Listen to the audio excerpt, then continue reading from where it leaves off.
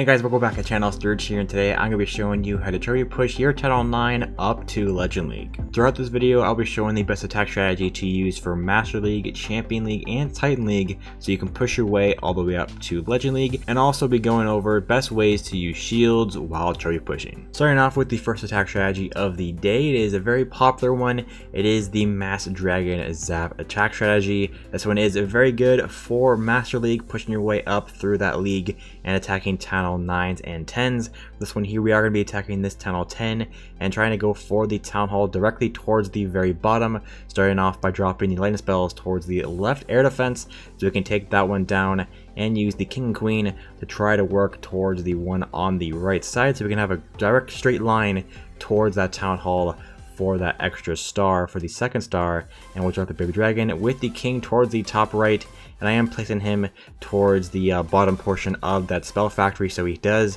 directly uh, go down towards the bottom left of the base to make his way over towards the uh, air defense as he is going to get targeted by the single target inferno tower and he will go down to that there so hopefully the queen can take down that second air defense as we work our way towards the bottom by dropping the rest of the dragons and the balloons with our Clan Castle balloons towards the right side as we will probably have to take down the air defense with those balloons going to rage up the uh, troops in the core as they make their way over towards the town hall. Clan Castle Electric Dragon comes out so we'll poison and freeze that there to help the dragons and stuff work over there. The enemy queen is also alongside the enemy clan castle so we'll take down both of those at the exact same time as we take down the town hall alongside those guys as well and using the last freeze spell on that air sweeper with the single target inferno tower as they make away and get the first and the second star against this Town Hall 10 for an easy 31 trophies against this whale of 47 trophies. Heading on to the second attack of the day, it is one of my favorite attacks in the entire game. It is the GoVaPe attack strategy.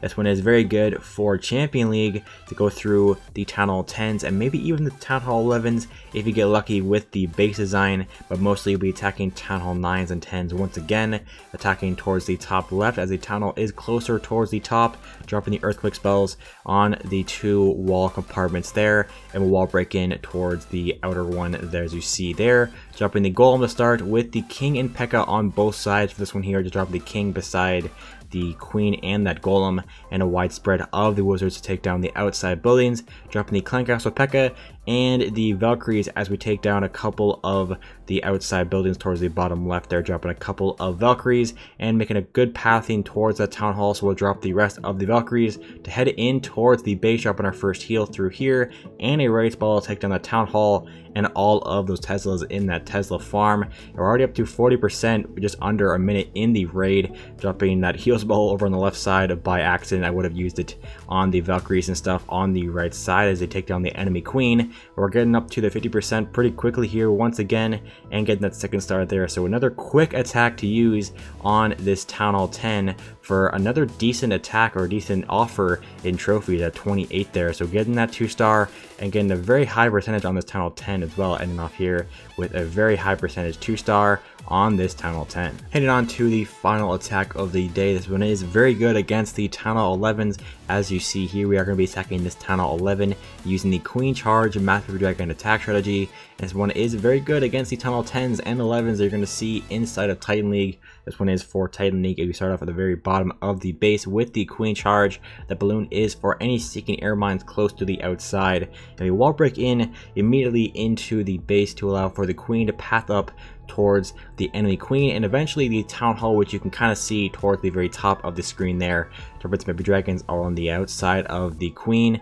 on both sides to allow for the queen to path directly towards the way you want her to but I think I do drop the king on the left side there to take down these outside buildings towards the left to the queen, allow for her to attack the enemy queen as you see here, drop another rage spell as the first one is about to fade off, and she uses her ability because she went a little bit too low in health but that is fine. We still have two more rages and a freeze spell still left to use for her here. She is going towards the right a little bit here, so we're gonna have to drop some big uh, balloons over on that archer tower as you see there to allow for the queen to pass towards the left side instead of the right because she would have attacked the wall after taking down that gold mine there but she decides to turn around and attack that wall to head over towards that expo and eventually town hall she'll attack those skeletons but as we do that we're gonna head around the outside of the base and spread out the baby dragons to take down the outside buildings for the extra percentage and getting that 50%. Gonna use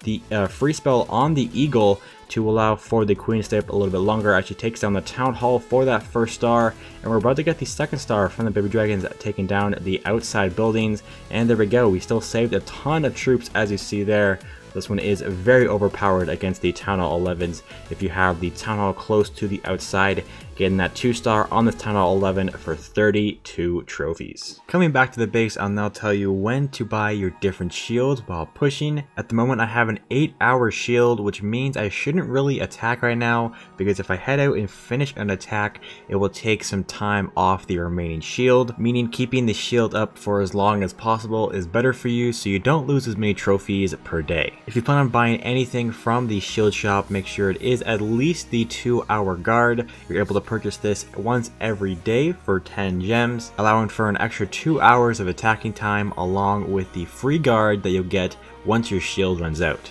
I also recommend buying the guard once your shield has run out since the shield allows you to attack for even longer without having to take a defense. Heading on to the next things to buy in the shield shop, which is the 1 and 2 day shields. Their cooldowns take even longer than the 2 hour guard at 4 days for the 1 day shield and a week for the 2 day shield. I usually buy these whenever they're available since it allows me to take a small break from attacking without having to worry about losing trophies. And yes, you can attack while having these shields active, but the more you attack, the more hours will be taken from those shields, so keeping them up as long as possible will help you in the long run. The final thing you can buy from the shield shop is the one week shield. This is only available for 35 days, so make sure to use it at the right time. I personally use this shield during clan games since good trophy offers are hard to find during those 6 days. I also use it once I make it up to Legend League so I can get some Legend League trophies once the season ends. And if you want to know how to get Legend League trophies, make sure to check out this video where I go over how to get the Legend League tournament badge inside of your profile. If you plan on trophy pushing, I recommend